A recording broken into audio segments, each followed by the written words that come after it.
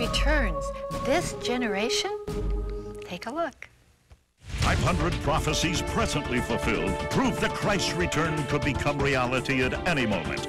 21 church fathers for the first 430 years of the faith taught that Christ would arrive at the start of the 21st century. Pagan prognosticators, including the Mayans, Incas, and Hopis, also looked to the 21st century, December 21st, 2012, for the final day of history, the end of the world. The Van Impes proved these pagan forecasters wrong in a startling new video, Christ's Return, this generation. Instead, they proclaim what could become the greatest event in history, the appearing of the King of Kings and Lord of Lords. First, seven major global events had to happen.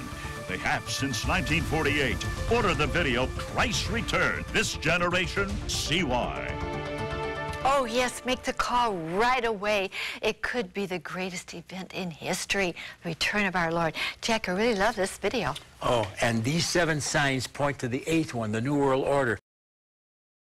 Jesus died for you.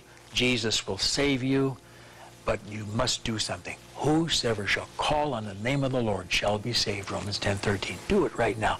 Lord, thank you for the shed blood. Thank you for dying for my sin. Thank you for being willing to save me forever. I trust in you this day as my own personal Savior. Come into my heart, Jesus. Amen.